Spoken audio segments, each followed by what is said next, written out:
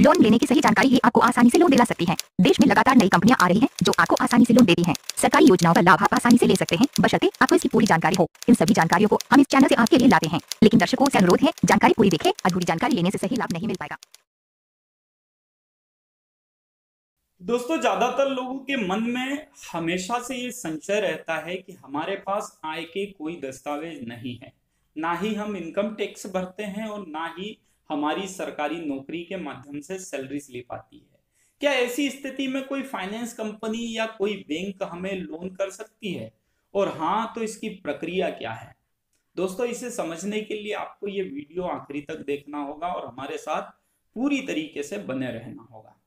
और हाँ दोस्तों, हमारे चैनल पर पर्सनल फाइनेंस और लोन की ऐसी जानकारी मिलेगी जो आपके लिए काफ़ी फ़ायदेमंद हो सकती है। बात चाहे होम लोन की हो या पर्सनल लोन की, या फिर बात हो बिज़नेस लोन और क्रेडिट कार्ड की, इन सभी जानकारियों को हम आपके लिए लाते रहते हैं। इतना ही नहीं, भारत की नई फाइनेंस कंपनियों के रिव्यू भी इस चैनल के माध्यम से किए जाते हैं, जिससे कि आपको पता चल सके कि कौन सी नई फाइनेंस कंपनी किस प्रोसेस से आपको लोन देगी। क्या ब्याज होगा, क्या होंगे उसके आवश्यक दस्तावेज़ और कैसे इन कंपनियों से आप आसानी से लोन ले सकते हैं।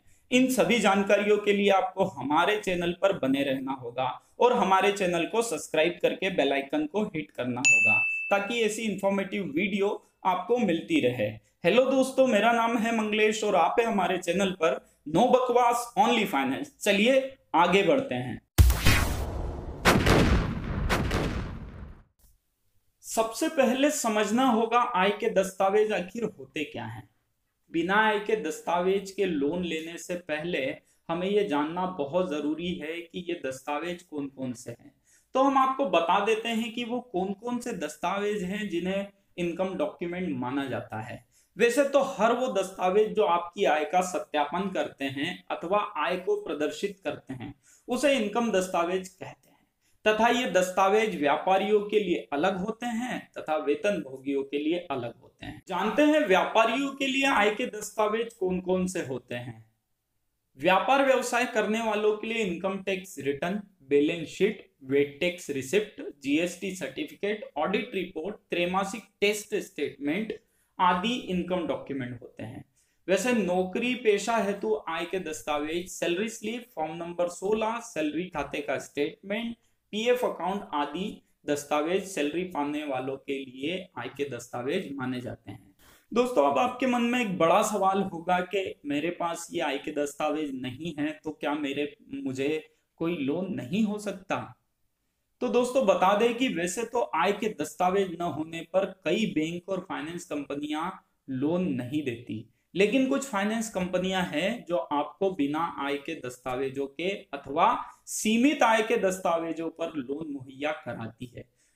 तो दोस्तों, ये सीमित आय के दस्तावेज़ क्या है, इसे समझिए। सीमित आय के दस्तावेज़ वे हैं जो आपकी इनकम का पुख्ता तौर से सत्यापन नहीं करते, लेकिन आपकी इनकम को दर्शाते ज़रूर है।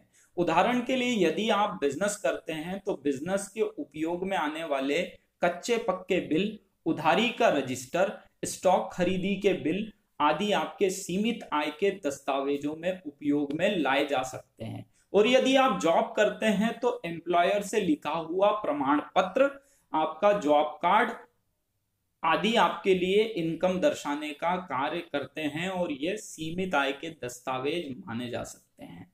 तो दोस्तों, अब जानना होगा कि भारत में ऐसी कौन सी कंपनियाँ हैं जो बिना आय के दस्तावेज़ के या सीमित आय के दस्तावेज़ पर लोन देती है।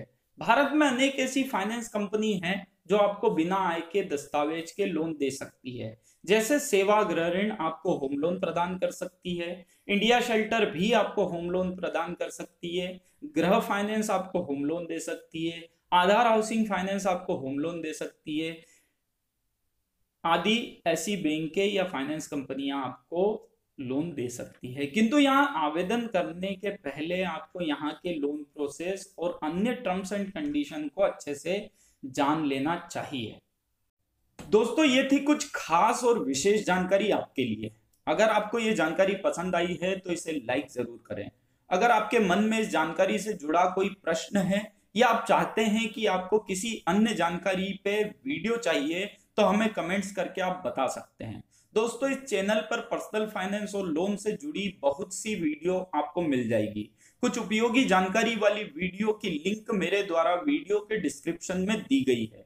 आप वहाँ जाकर ये जानकारी वाली वीडियो देख सकते हैं। इसके अलावा यदि आपको और जानकारी चाहिए तो आप हमारे ब्लॉग पर विज़िट कर सकते हैं, जिसकी लिंक हमने वीडियो के डिस्क्रिप्शन में दी है। दोस्तों, हो सकता है आपके किसी मित्र या रिश्तेदारों को इस जानकारी की ज़रूरत हो तो इस वीडियो को उनसे शेयर ज़रूर करें। और अगर आपने हमारा चैनल अभी तक सब्सक्राइब नहीं किया है तो इसे सब्सक्राइब करके बेल आइकन को हिट करें, ताकि ऐसी ही इंफॉर्मेटिव वीडियो आपको मिलती रहे। हमारे साथ बने रहने के लिए और वीडियो देखने के लिए आपका बहुत बहुत धन्यवाद। जय हिंद, जय भारत।